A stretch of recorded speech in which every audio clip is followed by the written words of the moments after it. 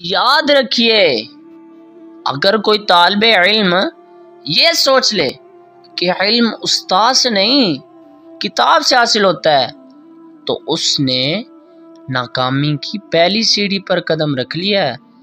ज़रा अच्छा सोचा करें।